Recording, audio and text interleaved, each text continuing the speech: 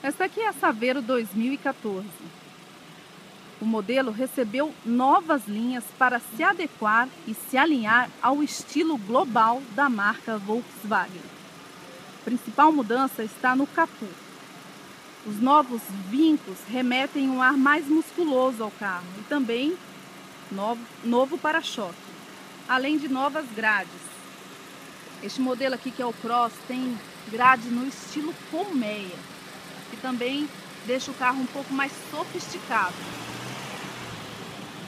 Por dentro, a nova arquitetura eletrônica deixou o carro ainda mais moderno, porque os equipamentos de segurança e entretenimento se conversam em razão da nova tecnologia. Esse aqui é o novo painel, o modelo Cross, que é o top de linha. Mais detalhes deste carro você confere no Auto News TV no sábado às 11h30 da manhã e no domingo às 10h30 ou pelos nossos canais do YouTube e do Facebook. Um pouquinho aqui agora da traseira do carro.